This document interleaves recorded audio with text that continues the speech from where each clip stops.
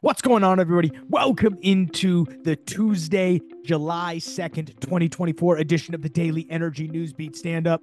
Here are today's top headlines. First up, in a news that shocks nobody, tech industry wants to lock up nuclear power for AI. Yeah, I'm sure they do. Next up, will evil Google's AI demands exact a high price from New Yorkers who could be foolish uh, went for solar and wind? Could be very interesting opinion piece that we're going to bring you. We love a good AI story. Next up, CNOOC launches China's largest LNG storage base. China added again, and then wow. finally will stay over in China as Chinese coal terminals, quote, bursting at the seams Stu will then toss over to me. I will quickly cover what happened in the oil and gas markets today. Huge 2% rise, mainly off a, a, lot of shift in sentiment on the fundamental side. So I'll cover that. And then finally, court hearing on Citgo. Auction could be delayed until September amid low bids, but they'll tell you it's a competitive process. So I will cover right. all that. And chips, guys, as always, I am Michael Tanner, joined by Stuart Turley. Where do you want to begin? Hey, let's start with our buddies over there in the tech industry industry want to lock up nuclear power for AI. Michael, this one has got Amazon, and then the next one is Google. So you can't beat an Amazon Google tag team on our stories here. The owners of roughly a third of the U.S. nuclear power plants are in talk with tech companies to provide electricity for new data centers needed to meet the demands of artificial intelligence boom. Amazon, this is amazing. Constellation Energy, a 2.91 increase upcoming triangle. Amazon, uh, it's unbelievable. In a subsidiary purchased a nuclear power plant in Pennsylvania we covered for 650 million bucks. And when you sit back and take a look at it, the AI demand is looking at between these two articles. I'll go into the other one here in a sec pushing out renewables and they're going to be putting in contracts for nuclear power and then buying only the renewable when they need the credits. That's going to destroy the grid for the consumer. oh yeah, the grid for that's the first thing I thought. It was like we're in trouble then. It is. And so you're going to, this is the new interest in nuclear is just unbelievable. In this Maryland nuclear power plant, it's pretty amazing. Share, let's see here. The customer has to come to us with many of the industry says, I'll need as much as power as you can make available, said Vistra's Energy chief. AI is going to take over the grid. You're seeing this. I mean, Amazon wants as much capacity. Just wait till they start buying old rundown. When does a tech company buy Diablo Canyon? Oh, if it's going to be decommissioned, why would you not buy it as a tech company? Are you allowed to? Well, you that's a whole nother animal because if it becomes decommissioned, I think we're going to see the decommissioned start being recommissioned. Oh yeah, yeah. I I don't think it would actually happen. Just an interesting, just an interesting thing. But yes, the all big tech, they're they're coming for the power and they're gonna get it at all costs. So what's funny oh. is now we'll actually see. You know, if if Amazon needs upgrades to the grid, well, guess what? Amazon's probably going to get upgrades to the grid, so it could right it could be a great thing overall. But they're only going to get them in into microgrids that they can afford for Good their point. thing. And and so let me throw this at you here. Hunt the uh, Federal Regulatory Commission, also Amazon's deal in Pennsylvania, as much as 140 million dollars in additional cost for the grid could go to the consumers. The consumers are getting it. wow. All right. What's next here? Let's go to Google. Let's go to Google. Will evil Google's AI demands extract a high price from New Yorkers who foolishly went for solar and wind? See, this one is really bringing it out. And when we go through, assuming this is more or less true, what are the implications?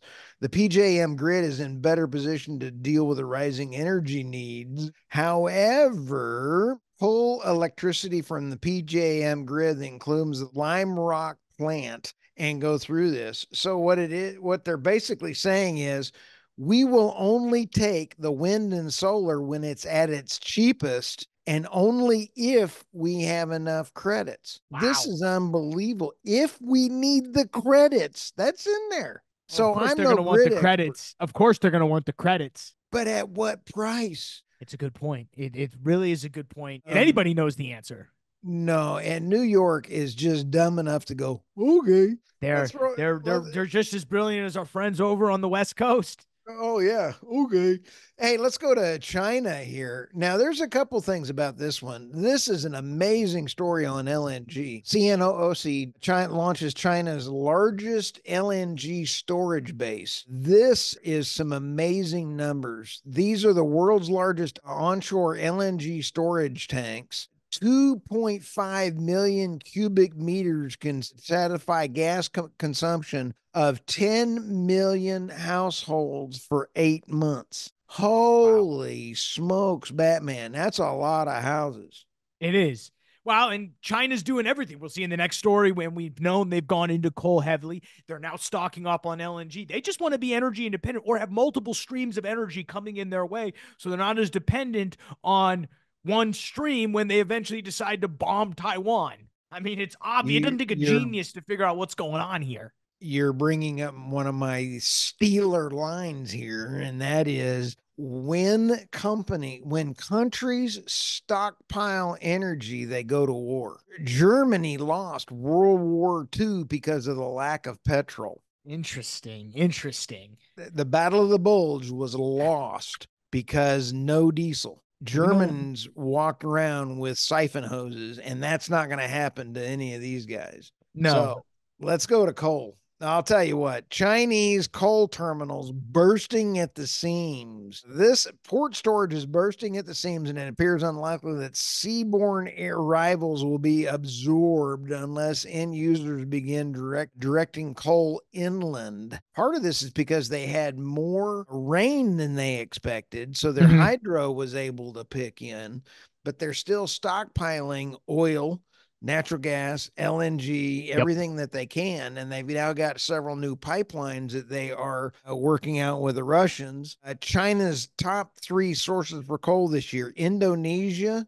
Australia, and the Russia Federation, are where they are importing from. Yeah, no, it's, I mean, they're, they're, they're, they love their energy. They'll get it in any form that they want. Yes. Now, here's the funny part, Michael. Okay. China is pushing electric cars on its population at a tremendous rate, he said, noting how taxes had been skewed to favor cars that do not rely on imported oil.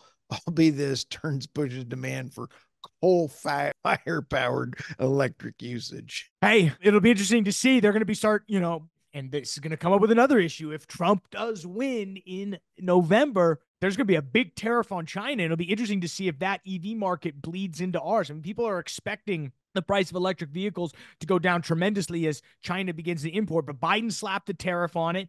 And if if Trump wins, you're going to see a whole nother round of tariffs on it. I want to give a shout out to Vance again. He was a Trump economist, and I interviewed him. That should be coming out tomorrow or the next day one of the key things that he said is he did, don't look for all these Trump tariffs to kick in nearly as easy. They're not as easy as he is saying. And he helped do the first ones. So I don't think we're going to be tariffing anytime soon. No, I don't. I don't think so either. All right. We'll go ahead and pop over and cover this crazy oil price rise today. But before we do that, guys, we got to pay the bills. Thanks for checking us out on the world's greatest website, energynewsbeat.com, the best place for all your energy and oil and gas news. Stu and the team do a tremendous job making sure that website stays up to speed. Everything you need to know to be at the tip of the spear when it comes to the energy and the oil and gas business. You can hit the description below for all the links and timestamps to all of the articles that we are covering here. If you want to move forward or move back, we appreciate, and also all the links to the articles via the world's greatest website, energynewsbeat.com. You can also check us out, the energynewsbeat.substack.com, where we record these in the afternoons, release them in the, that following morning. So, guys, if you want to get early access to the stories that you hear in this podcast, go check us out on Substack. Um, you can find that in the description below and subscribe to tomorrow's news today. But in the spirit of oil prices, Stu, we were up 2% today, mainly off the back of a fundamental shift of how people are are feeling sentiment wise. Before we dive into that, though, S&P 500 having a, a little bit of a day so far. It was up big early in the session,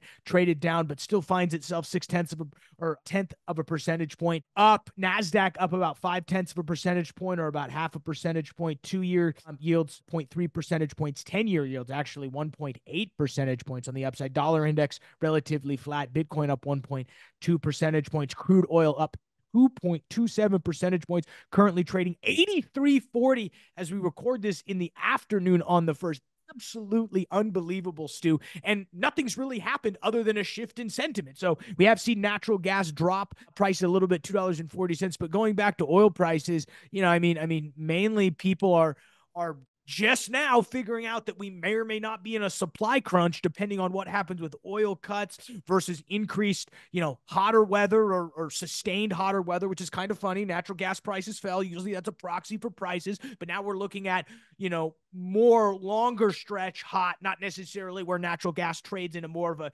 short term, short term swing per se.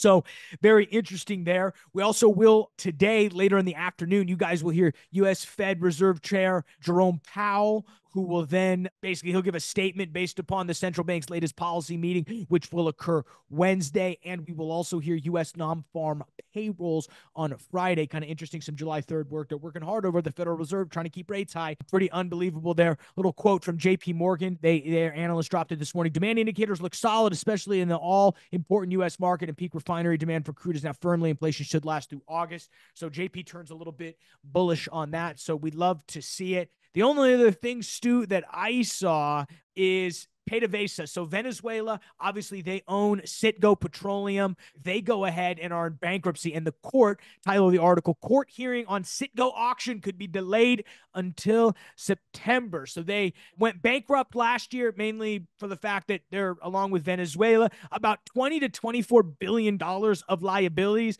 There's a couple companies that are on that creditor list. I was trying to pull it up here. I think it's uh, one of them's ConocoPhillips. We know that. There's also a grain company in Canada Canada and another pension fund here in the United States that that kind of round out the top three debt holders here. So they're running a not a blind auction, but kind of a blind auction. And it's been delayed, if only because the bids haven't been great. Now, what's funny is the quote out of the you know, the quote, the court appointed special master to oversee the case seeks more time to evaluate competitive offers, among which multiple bids were actionable. The court wrote in a motion. Yet, Here's the interesting part. It was valued somewhere between 11 and 13 billion dollars.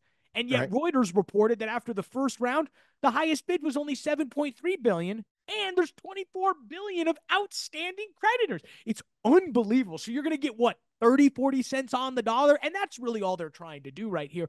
But that's unbelievable. Wow. You know, if second round bids do not come close, this is also in the report from Reuters. Um, if it doesn't come close to 10 billion dollars, Venezuela could seek a third round of bidding which okay so no one buys it for seven. Hopefully someone buys it for 10 i don't know. It usually not how auctions work right? Right.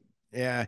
You don't want to walk by and just go hey how you doing? Sold. You do not want well, to and it'd be the interesting part is do these debt holders still then keep you know how does the post closure what does the cap table look like is the real question. If you're paying 30 cents on the dollar for them to liquidate and go away that's different than if you're just assuming now whatever's the leftover debt value right Super and interesting. Liabilities. Short. It's not kind of a short week. We'll be with you every day. We'll record a show. We'll have one out Wednesday, and then we'll have one out Thursday as well. But have a happy July Fourth. What should people be worried about this week? Oh, just buckle up, and uh, we are in the political season around the world right now. It's already starting in Europe. Look for it rolling around uh, the protests approaching your local neighborhood soon. Yeah, absolutely. So, all right, guys, we'll we'll let you get out of here with that. We appreciate you guys checking us out. World Greatest Podcast, EnergyNewsBeat.com. Stuart Turley, I'm Michael Tanner. We'll see you tomorrow, folks.